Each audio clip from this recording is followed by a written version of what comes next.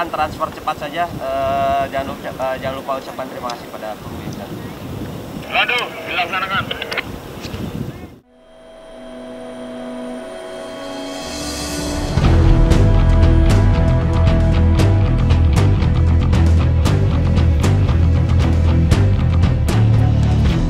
Sejumlah kapal perang multinegara dikerahkan dalam misi pencarian pesawat AirAsia KZ-8501 di Laut Jawa.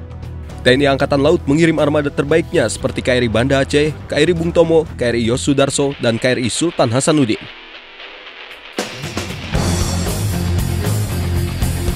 Dari puluhan kapal perang yang bertugas di sana, KRI Banda Aceh memiliki peran yang sangat penting. Kapal buatan anak bangsa ini menjadi markas utama selama proses pencarian berlangsung di Selat Karimata sejak akhir 2014.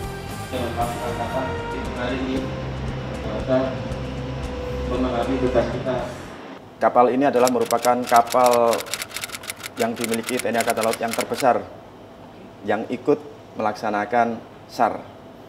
Jadi kita bisa membawa helikopter jenis Bell itu tiga unsur di geladak, satu unsur di hanggar heli. Jadi sangat-sangat memungkinkan unsur-unsur kita yang saat ini kemungkinan di lapangan mengalami kendala dia bisa mengevakuasi langsung korban-korban maupun puing-puing yang ditemukan oleh unsur-unsur lain, baik unsur KRI maupun kapal-kapal dari instansi terkait lainnya, maupun kapal-kapal dari berbagai negara lain yang juga ikut tergabung di dalam misi SAR ini.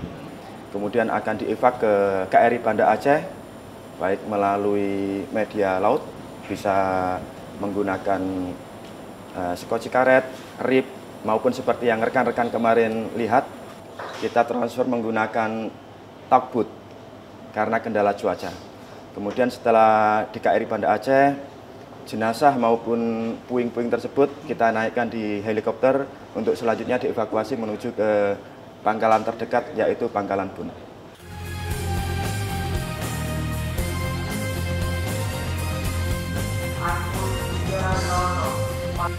KRI Banda Aceh adalah kapal perang berjenis landing platform dock. Kapal ini mampu mengangkut satu batalion pasukan, kendaraan perang sekaligus digunakan untuk pendaratan helikopter. Kapal yang diproduksi PT PAL ini juga dilengkapi meriam kaliber 22 mm dan meriam kaliber 43 mm. KRI Banda Aceh 593 menjadi kapal perang pertama asal Indonesia yang dikirim dalam pagelaran Rim of the Pacific atau RIMPAC 2014. Kapal ini pun sempat dijadikan markas besar di perairan Hawaii, Amerika Serikat.